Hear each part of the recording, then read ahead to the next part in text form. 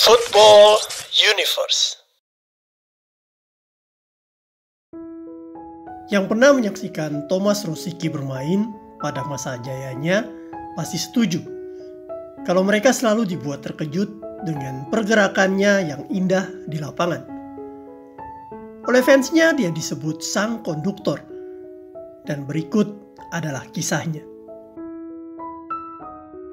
Please like, comment, share, dan subscribe channel ini jika cerita-cerita sepak bola kami bermanfaat.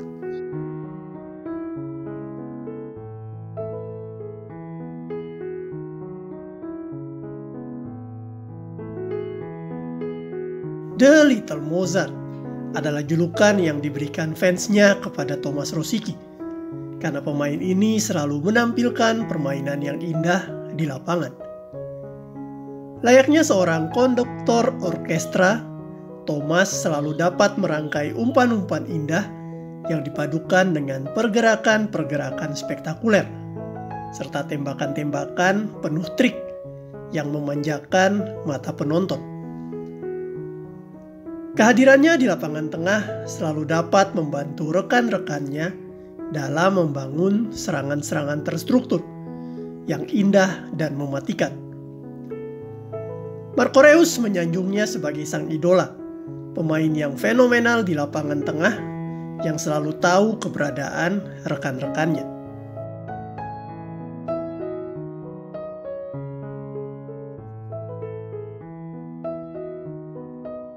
Thomas Rosicky lahir di kota Praha, Cekoslovakia pada tanggal 4 Oktober 1980.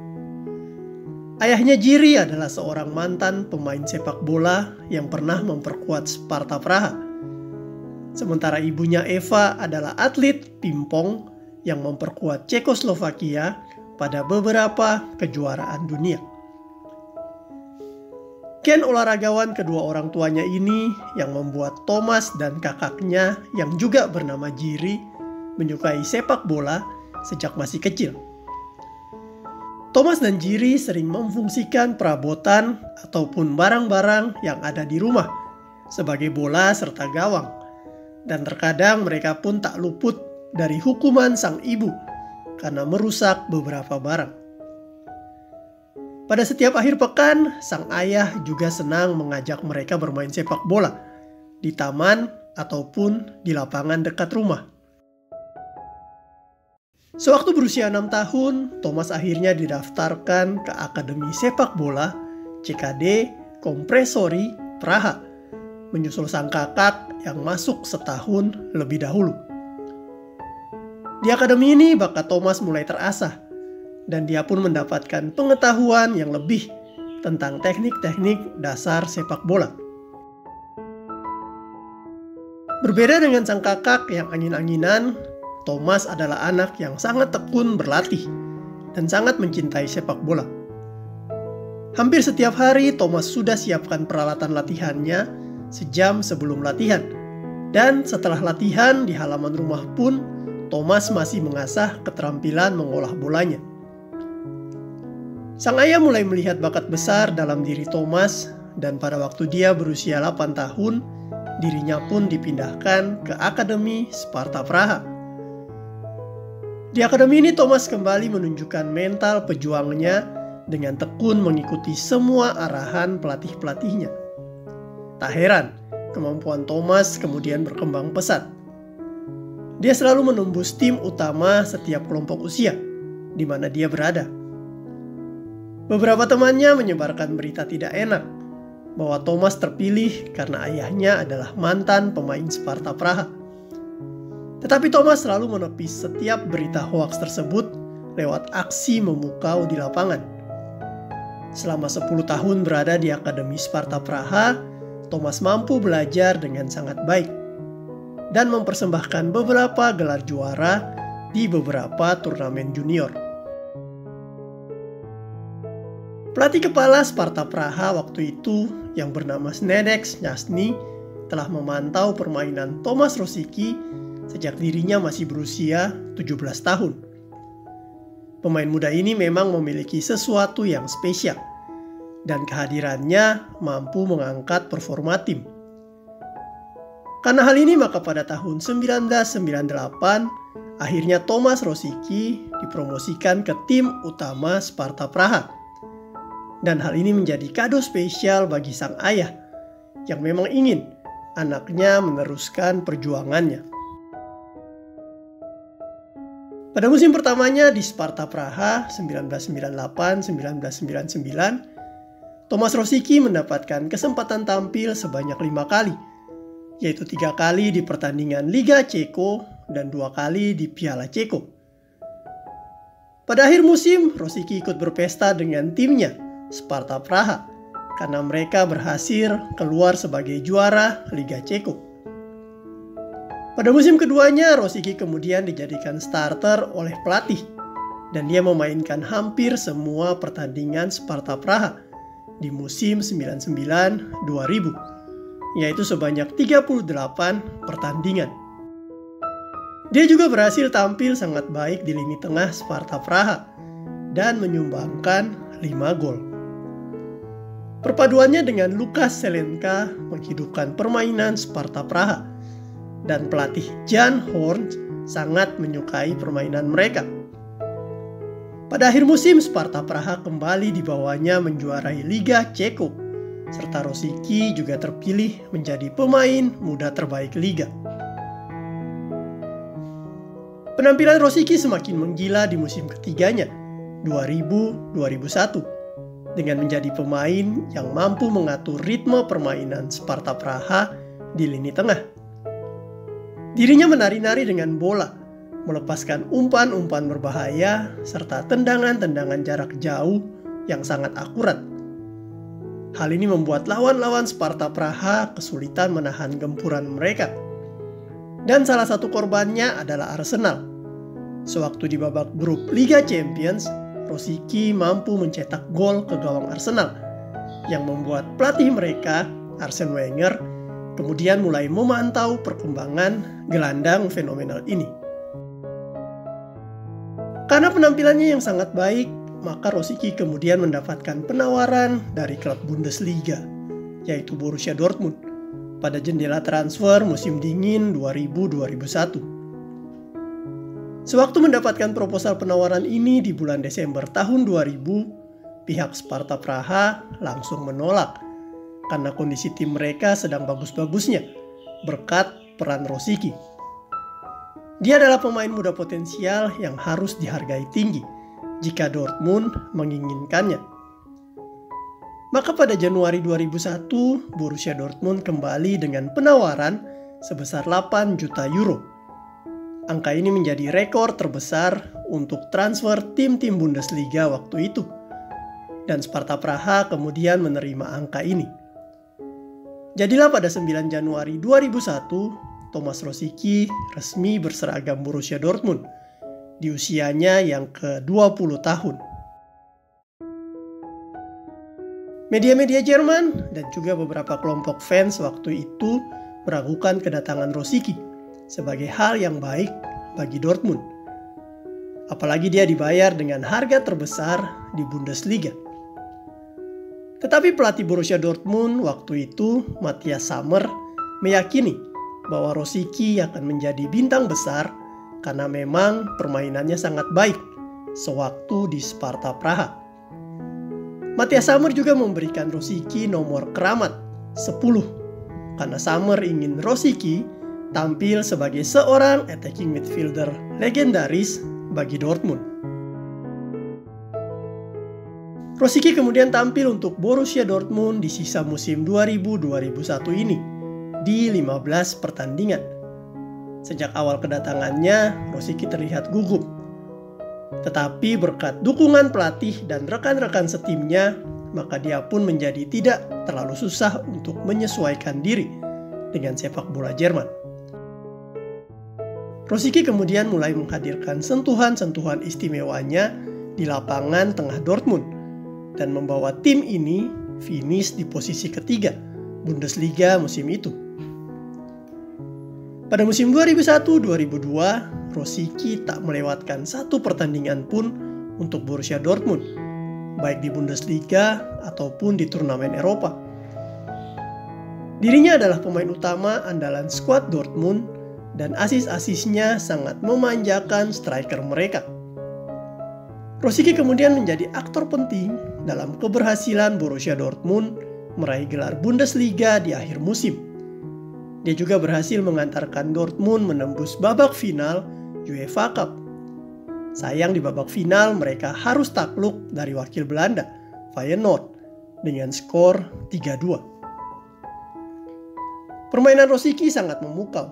Dia seperti sedang menyihir lini tengah Dortmund menjadi mengagumkan Sepak bola Jerman yang kaku dan kadang membosankan untuk ditonton dibuat Rosicky menjadi sangat menarik dan indah untuk disaksikan. Rosicky memiliki seorang sahabat dekat yang sama-sama berasal dari Ceko waktu itu, Jan Koller. Pemain ini adalah seorang striker hebat yang tingginya melebihi 2 meter. Kedua sahabat ini juga adalah partner yang sangat baik di lapangan. Kerjasama mereka selalu menyulitkan lawan-lawan Dortmund. Umpan-umpan terukur Rosiki selalu mampu dimanfaatkan Kohler untuk menciptakan peluang atau gol. Selama dua setengah tahun berada di Borussia Dortmund, Rosiki berhasil memainkan 75 pertandingan, mencetak 9 gol, serta yang mengagumkan adalah dia mampu mengirimkan 20 assist. Pencapaian ini membuat fans Dortmund sangat mencintainya. Dan pada akhir tahun 2003, Rosicky mendapatkan perpanjangan kontrak dari Dortmund. Pada musim 2003-2004, permainan Rosicky sedikit menurun dan dia tidak dapat tampil penuh karena menderita cedera lutut. Meskipun demikian, di musim 2004-2005 dia kembali bangkit dan menjadi tumpuan lini tengah Dortmund. Rosicky sangat senang berada di Dortmund karena di tim ini dia selalu mendapatkan dukungan penuh dari pelatih maupun fansnya. Akan tetapi keuangan klub perlahan menjadi buruk. Beberapa pemain bintang mereka pun akhirnya dijual, termasuk sahabat dekat Rosicky, yaitu Jan Koller. Tetapi pihak klub tetap mempertahankan Rosicky karena dia memang berdampak besar. Walaupun saat itu ada rumor yang menyatakan bahwa Atletico Madrid telah merayunya. Rosicky kemudian mengeluarkan pernyataan akan tetap bersama Dortmund. Tetapi tiba-tiba di akhir musim 2005-2006, pihak Dortmund menerima tawaran dari Arsenal karena tim Inggris ini menawarkan proposal dengan biaya yang tinggi. Arsene Wenger juga menghubungi Rosicky secara pribadi bahwa dirinya sudah mengikuti perkembangan Rosicky sejak tampil gemilang sewaktu mengalahkan Arsenal saat masih berseragam Sparta Praha. Karena hal ini dan memikirkan kondisi keuangan Dortmund, maka Rosicky menerima pinangan Arsenal. Dan pada tanggal 23 Mei 2006, Arsenal resmi mengumumkan kepindahan Rosicky. Rosicky cukup sedih waktu itu karena harus meninggalkan kenangan indahnya di Dortmund. Tetapi yang pemain 25 tahun ini tidak tahu bahwa tangan dingin Arsene Wenger yang terkenal mampu memoles pemain-pemain muda akan sangat berhasil memoles dirinya. Perlahan Rosicky dituntun untuk beradaptasi dengan permainan sepak bola Inggris yang terkenal cepat dan sangat taktis. Perlahan juga Arsene Wenger membentuk Rosicky sebagai gelandang produktif dan kreatif yang dapat mendistribusikan bola dengan sangat baik. Hasilnya Rosicky langsung menjadi gelandang serang Arsenal yang sangat memukau. Rosicky di Arsenal mendapatkan warisan nomor punggung 7 dan sukses menjadi salah satu pemain andalan tim gudang peluru Perjalanannya di Inggris tak kalah hebat dengan masanya di Jerman.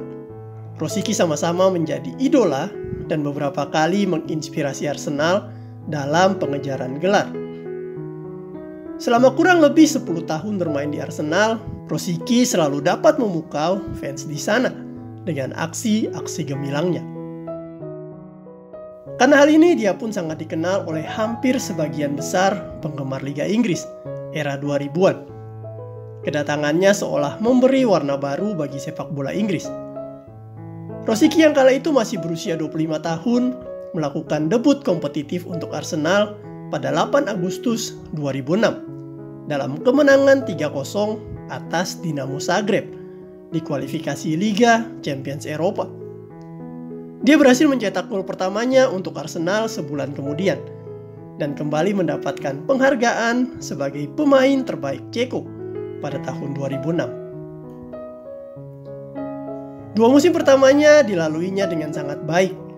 Namun sayang pada musim 2008-2009, Rosicky sama sekali tidak tampil bersama Arsenal karena mengalami cedera yang sangat parah.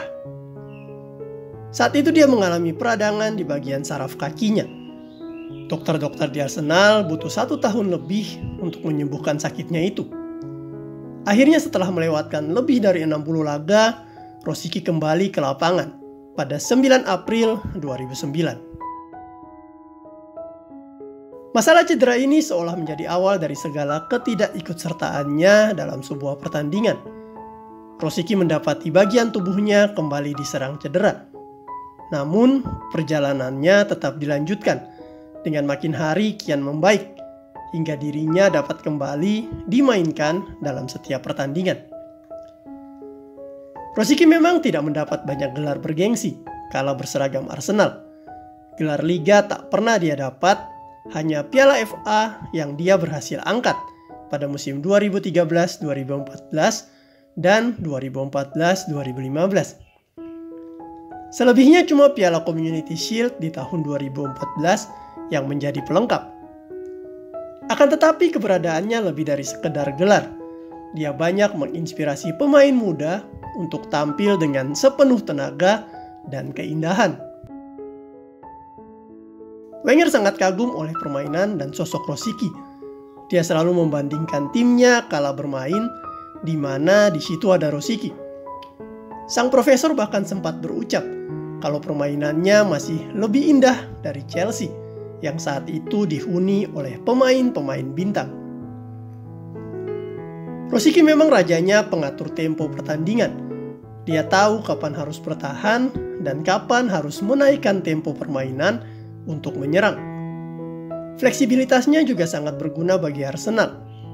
Rosicky selalu dapat dengan elegan memainkan peran yang Wenger inginkan. Namun sayang semua perjalanannya harus berakhir pada musim 2015-2016 ketika dia harus menepi selama satu musim akibat masalah cedera. Setelah lebih dari 300 hari berdiam diri di ruang perawatan, Rosicky akhirnya memilih untuk berpisah dengan Arsenal. Semua cerita yang dituangkannya telah selesai. Dan saat itu menjadi waktu yang tepat baginya untuk kembali ke tim masa kecilnya. Selama berseragam Arsenal di 10 musim, Rosicky tampil dalam 247 pertandingan mereka dan mencetak 28 gol.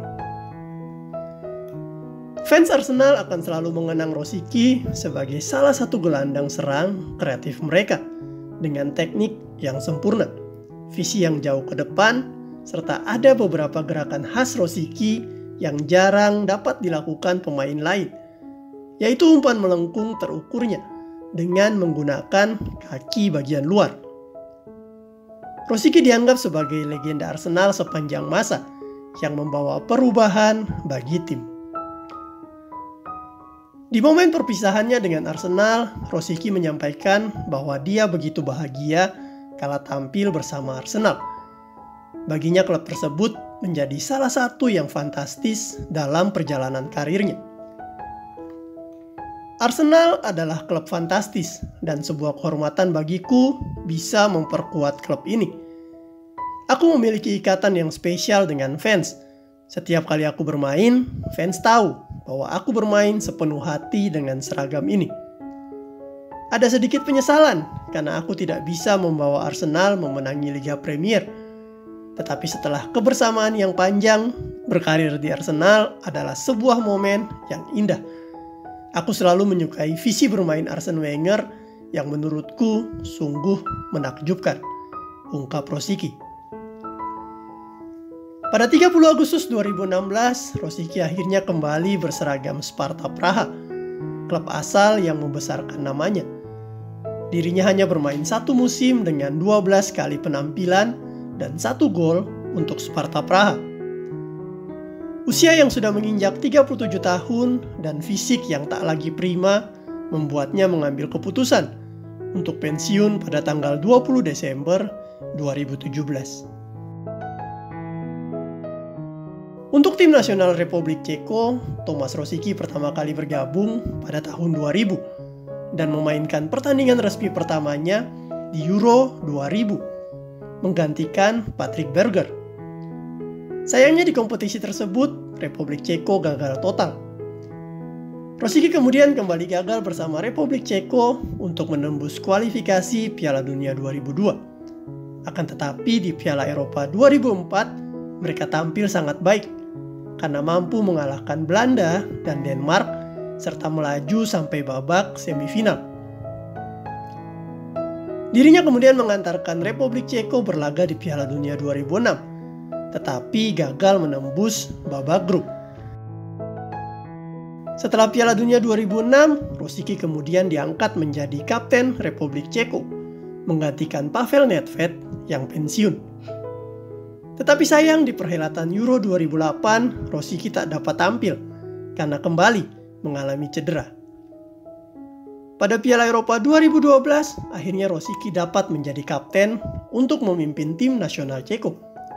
Akan tetapi di pertandingan kedua, dirinya kembali menderita cedera dan harus absen bermain meskipun Republik Ceko lolos sampai perempat final.